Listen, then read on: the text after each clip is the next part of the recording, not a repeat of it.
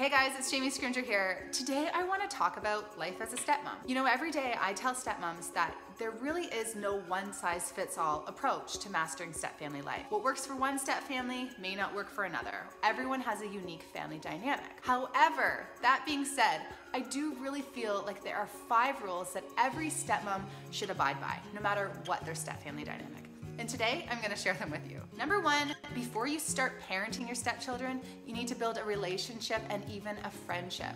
There needs to be a foundation of trust and respect before you can expect them to trust you as a parental figure. Until you have that foundation set, take a back seat in the parenting department and just support your spouse behind the scenes. Number two is empathy, and this is huge in all areas of life, but especially important when it comes to step-family dynamics. When you're in the midst of step-family stressors, or even when you're just going about your day-to-day, -day, Take a step back and honestly think about how your stepchildren may be perceiving things.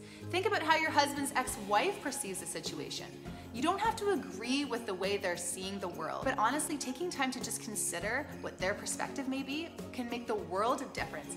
Number three, treat your stepchildren's mom with respect. Even if you don't respect her, even if you can't stand the lady, even if she treats you like crap and doesn't respect you one bit, please just treat her with respect. She is an extension of them, and treating her with respect means that you're treating them with respect. Honestly, guys, the way I see it, your relationship with your husband's ex-wife should be one of two things.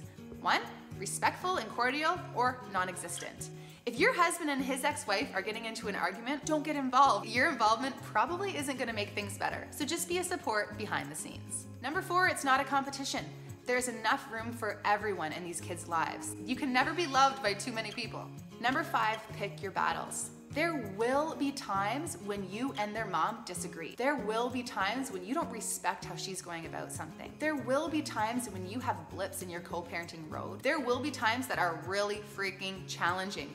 Co-parenting is tough. It's not easy. Before you engage in any type of conversation about the conflict, I encourage you to ask yourself, does this really matter? I love the 555 rule. It has been a huge game changer for me in my step family life and in life in general. So before I get upset about something, I ask myself, Will this matter in five minutes? Will this matter in five days? Will this matter in five years? And then I react accordingly. It is crazy how asking yourself those questions can really help put things into perspective. The one question that I often ask myself is, what do I want my children and stepchildren to remember about their childhood? I encourage you to ask yourself that question as well, because my answer to that question has really helped shape the way that I parent and step-parent our kids. And there you have it, guys, the five rules that I think that every stepmom should abide by, no matter what their step-family situation. As always, don't forget to like, comment, and share, and I will see you in the next video.